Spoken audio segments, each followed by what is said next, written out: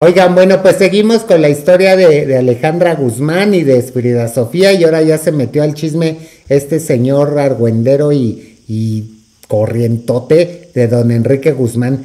Vieras que, que, hay gente a la que de verdad yo no soporto, Philip, en buena onda.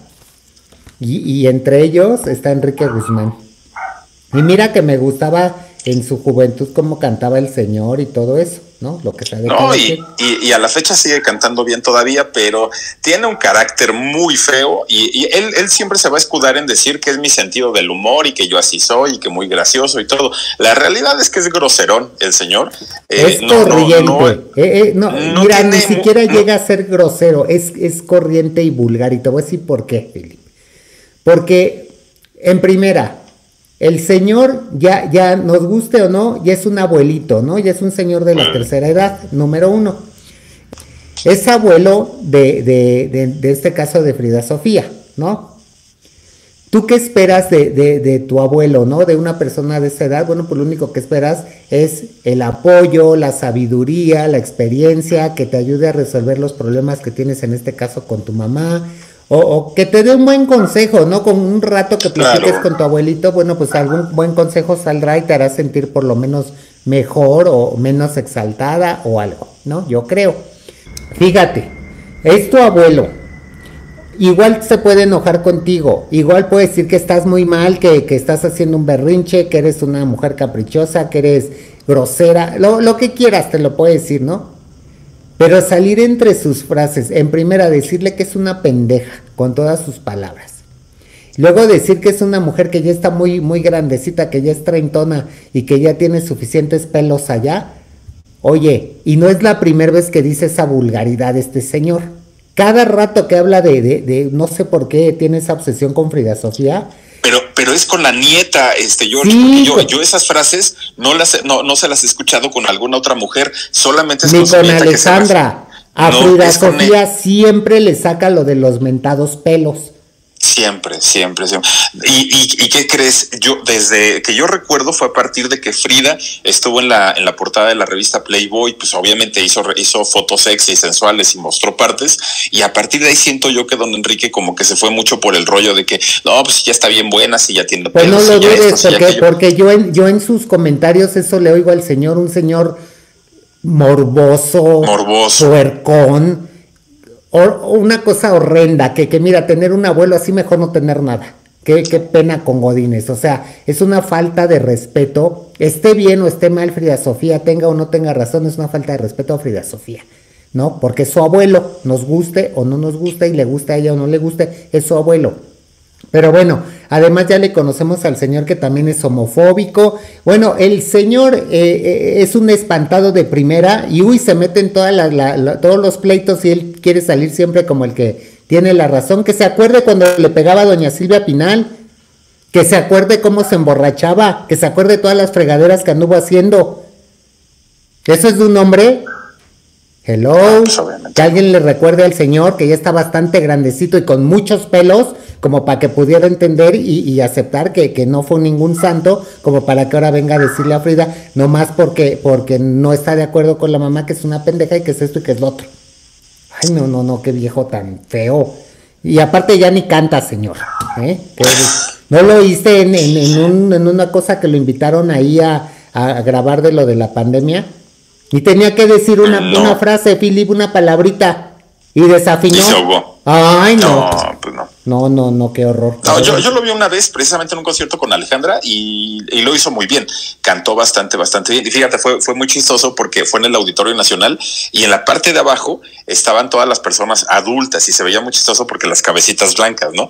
Eh, en la parte de abajo no llenó y ya en la parte de arriba pues estábamos obviamente los que en ese momento éramos más jóvenes eh, éramos más, más chavos, pero pues los que nos alcanzaba para pagar boletos de arriba y los señores que ya les alcanzaba la parte de abajo, cante y cante tu cabeza en mi hombro y este payasito y todo eso, canto muy bien, pero estoy hablando ya de hace bastante, bastante tiempo. Actualmente, años, Sí, no, actualmente ya no, no, no, pues no.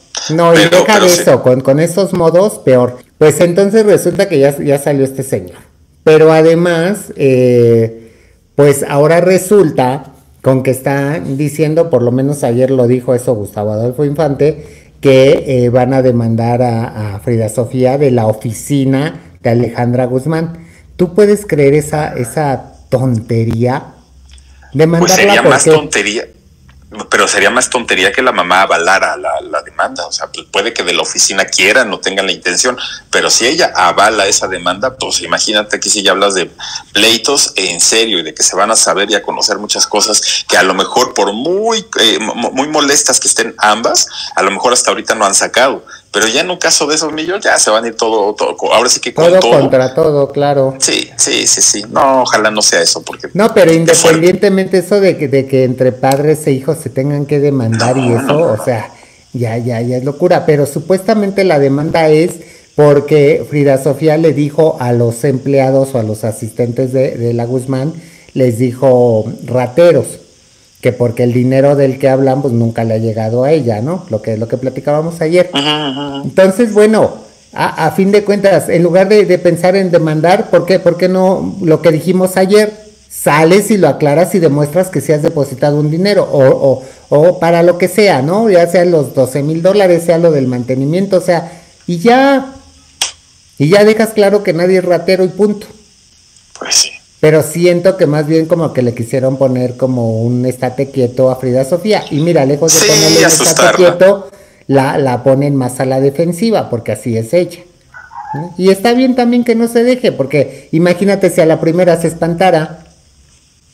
Pero, pero fíjate, ya, ya en el caso muchas veces de, lo, de los artistas y que ellos que se manejan con y el representante y el de la disquera y el de la promoción y el de la no sé qué y el de la que están rodeados de mucha gente, ¿no? Y si ellos ya vieron que a lo largo de los años esto les ha traído complicaciones, porque pues obviamente las comunicaciones que tienen ellos, eh, ella con su hija, pues ya llegan como el teléfono descompuesto, ¿no? Alejandra dice una cosa y como se lo hacen eh, llegar a la otra, pues ya es de una manera muy distinta. Si ya identificaron eso, si ya saben que por ahí va el pleito, quitas a toda la gente y ya tienes una, una, comunicación directa, ¿no? Persona a persona, pero se mandan a decir, pero se mandan a escribir, pero los comunicados, y creo yo que también que ahí viene parte del problema.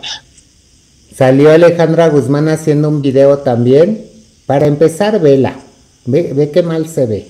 Sí, Sale en ese video para decir que su mamá está bien. Ok, se agradece. Pero a ver, que alguien le avise a Alejandra Guzmán que está en boca de todo el mundo desde el martes y que en este video debió haber aclarado lo que ayer también lo dijimos a través de un video, aclarar lo que estaba pasando y dejar todos los puntos claros, ¿no? Y de una vez, si no puede comunicarse con la hija porque no le acepta las llamadas o lo que sea, pues a través de un video le mandas decir lo que, lo que está pasando, lo que piensas y lo que quieres, ¿no? No, que lo mismo hace Frida. Nada más salió hablando este de lo de la mamá, muchas gracias, que nunca entendí ni para qué, ni cómo, ni, ni por qué. De hecho, de doña Silvia ya ni nos acordábamos que estaba, este, Estaba convaleciente. Estaba convaleciente. ¿Y se acuerdan ustedes que yo les conté eh, justamente la semana pasada, o, no esta semana, fue el martes, les conté, que, que que ya había tenido contacto con el doctor Jeremías Flores y que, me, entregó hasta documentos y demás en aquellos años 2000, 2010 creo, este, y, que, y que la, los documentos que venían de la demanda decía de, los problemas que tenía Alejandra Guzmán. Bueno, pues ya encontré, ya encontré estos documentos y dice, eh, fíjense, les voy a leer, dice...